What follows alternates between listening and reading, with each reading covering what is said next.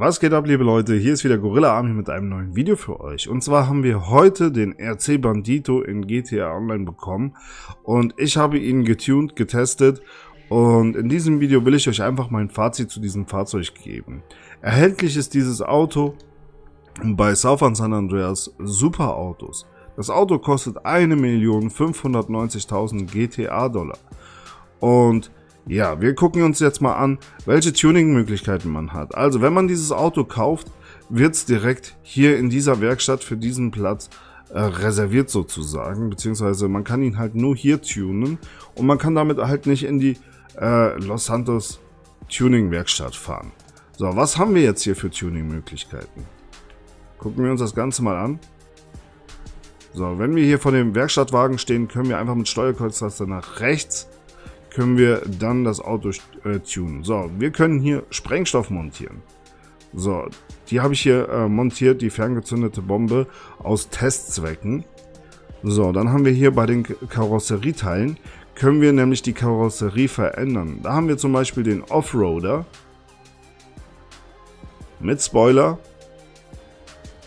Offroader und Netze, Offroader kombiniert, Trophy Truck, Trophy Truck Spoiler, Trophy Truck und Netze, Trophy Truck kombiniert und der Gang Burrito. Also ich muss sagen, die Fahrzeuge bzw. Ähm, die Optik von den Fahrzeugen erinnert mich stark an Rocket League, wenn ich das Ganze hier so sehe.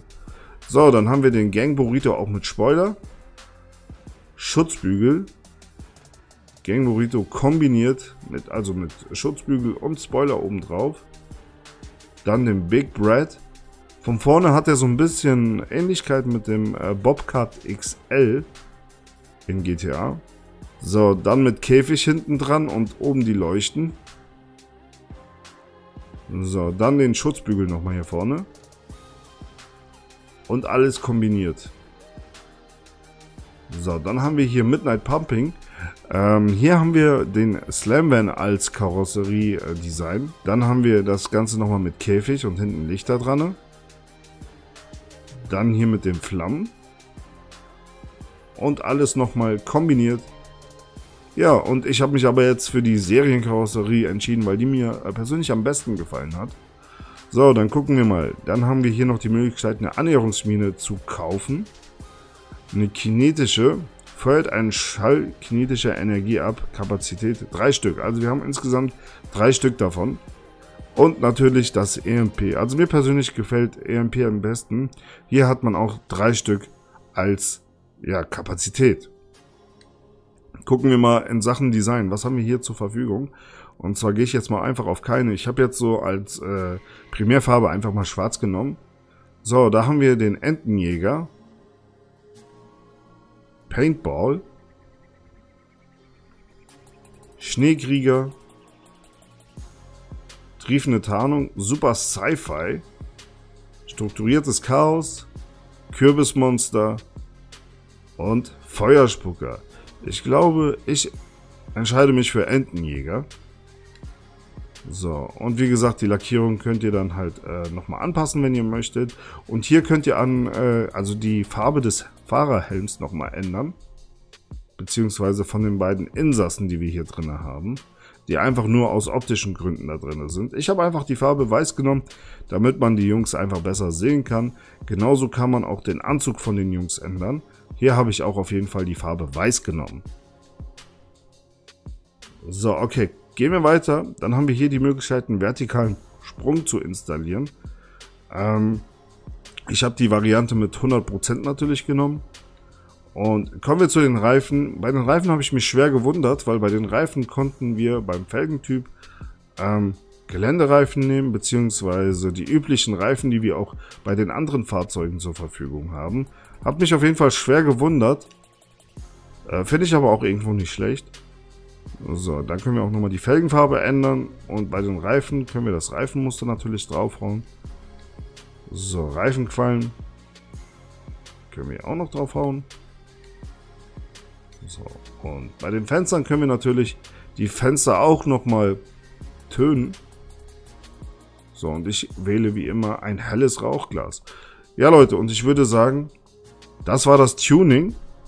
Kommen wir jetzt mal ähm, zum fahrerischen Erlebnis. Äh, dazu müssen wir rausgehen. Bis gleich. Also Leute, was braucht man überhaupt, damit man dieses Auto kaufen kann? Man braucht die Macebank Arena mit der dazugehörigen Werkstatt. Weil die Werkstatt, die hat dann nochmal extra einen separaten Stellplatz, wo man dieses Auto dann auch tunen kann. So, und wenn man dann draußen ist, kann man das Auto einfach über das Interaktionsmenü und dann in Inventar und ganz unten RC Bandito anfordern. Wenn ihr darauf klickt, werdet ihr in das Auto dann äh, sozusagen gespawnt. Wichtig ist halt, Leute, ihr müsst euch eins merken, wenn ihr das Auto jetzt hier, wo ich bin, am Standort bestellt, ja, werdet ihr, wenn ihr dann später aus dem Fahrzeug wieder aussteigt, hier in dieser Nähe auch wieder spawnen. Das heißt, wenn ihr mit dem Auto jetzt Richtung Norden, Mount Chiliad oder sonst irgendwas äh, wohin fährt, ja, und äh, dann auf Dreieck drückt, werdet ihr dann in dieser Nähe wahrscheinlich dann auch gespawnt. So, Kommen wir aber jetzt mal zu einem wichtigen Punkt, der mir bei diesem Auto aufgefallen ist, was dieses Auto für mich zu dem nächsten Abfucker-Auto macht. Denn wenn wir jetzt mal auf der Karte gucken, ja, sehen wir, was sehen wir? Nichts. Wir sehen rein gar nichts. Wir sehen nur uns selbst auf der Karte. Das Auto mit dem Spieler da drinne sehen wir nicht. Und das macht dieses Auto zu einem nächsten Abfucker-Auto. Weil wie ihr sehen konntet, konnte ich bei der äh, Tuning-Werkstatt C4 montieren und äh, noch ein paar weitere äh, Waffen.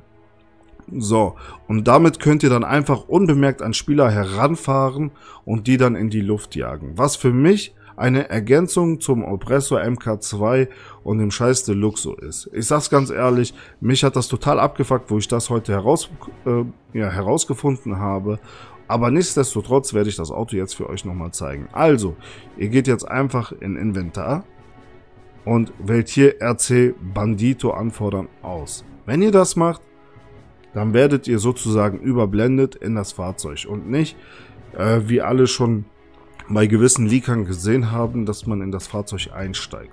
Da muss ich sagen, das hat Rockstar Games gut umgesetzt. Aber wenn wir jetzt unten links auf der Karte gucken, da sehen wir nur uns im RC-Auto. Den Kollegen hier, den sehen wir nicht. Das heißt, ich kann jetzt einfach mich an ihn ranpirschen und dann die Bombe einfach hochgehen lassen. Der Wagen ist allgemein jetzt nicht äh, besonders schnell, wie es sich halt für ein RC-Auto halt gehört. Das Handling ist äh, ja sehr direkt. Man darf halt von dem Wagen jetzt nicht wirklich viel erwarten. Ähm, eingetragen ist das Auto in der Geländewagenklasse. Da muss ich auf jeden Fall noch testen, ob man den Wagen auch in einem Rennen äh, benutzen kann. Aber wenn ich das richtig gesehen habe, geht das auf jeden Fall. Und wir werden auf jeden Fall noch ein paar Rennen dafür erstellen.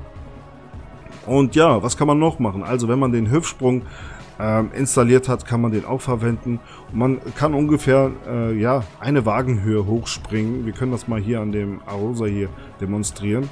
Also man sieht, man kann auch nicht mal richtig drüber springen. So, und äh, ja, also allgemein muss ich sagen, von der Kaufempfehlung würde ich eher davon abraten, dieses Fahrzeug zu kaufen. Denn mit 1.590.000 GTA-Dollar ist dieses Fahrzeug einfach überteuert und dient eher, um Leute noch mehr abzufacken, als es äh, sonst der Fall ist. Kommen wir nun zu meinem Fazit. Also Leute, wir haben mit dem RC-Auto, ja, ein lustiges Auto bekommen. Ja, was für den Moment äh, sehr unscheinbar ist. Doch wenn wir genauer schauen, Leute, haben wir das nächste Abfucker-Auto in GTA bekommen. Warum sage ich das? Ihr habt durch dieses Auto gewisse Vorteile. Das heißt, ihr seid auf der Map unsichtbar. Ihr könnt unbemerkt euch an Spieler heranpirschen und sie dann in die Luft jagen. Und das ist richtig ehrenlos und ich finde deswegen, dass man allein schon aus diesem Grund dieses Auto nicht kaufen sollte.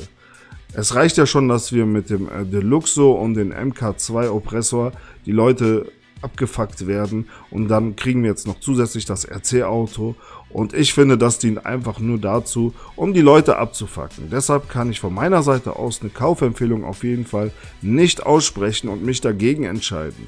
Und ich werde auf jeden Fall dieses Auto bei meinen Tuning-Treffen auch nicht in Erwägung ziehen. Das heißt, eventuell wirklich, wenn wir ein Motto haben dazu, dann ja. Aber ansonsten will ich dieses Fahrzeug auf keinem Tuning-Treffen sehen und werde es auf jeden Fall nicht erlauben. Deshalb Leute, ich hoffe, dass das Video euch irgendwo trotzdem gefallen hat. Ähm, ich bin ehrlich gesagt enttäuscht. Aber ich würde mich natürlich freuen, wenn ihr trotzdem dem Video ein Like da lässt oder auch ein Abo. Ansonsten wünsche ich euch noch einen schönen Tag und ich jag mal den Kollegen einfach in die Luft. Zack, das war's.